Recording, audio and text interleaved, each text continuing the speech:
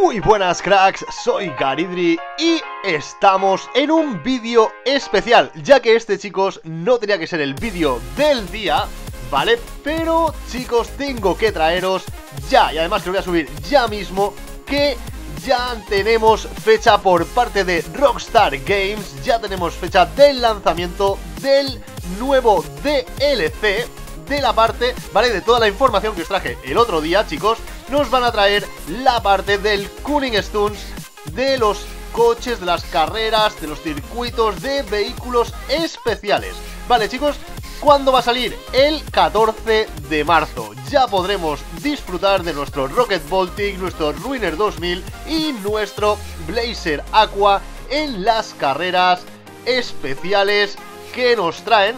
Vale chicos, ya visteis el otro día una imagen de Rocket Baltic y esta vez Rockstar nos trae la de el Ruiner 2000. Chicos, impresionante, ya tenemos día de lanzamiento, queda una semana, el día 14 de marzo. Aquí lo tenemos, pero es que eso no es todo, chicos. También nos dicen que ese mismo día 14 también sacarán el Progen GP1. ¿Que qué coche es ese? Chicos, aquí tenéis la imagen. Una barbaridad de coches.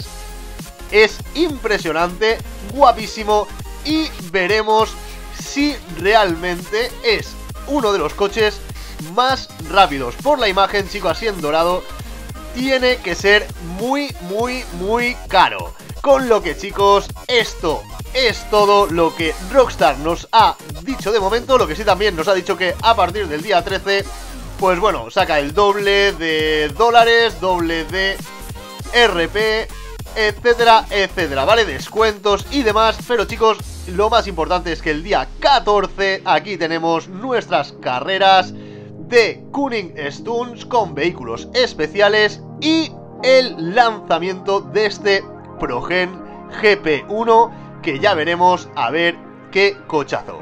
Nada chicos, hasta aquí la noticia, e igualmente, eh, dentro de un ratito subiré el vídeo que tenía programado para hoy.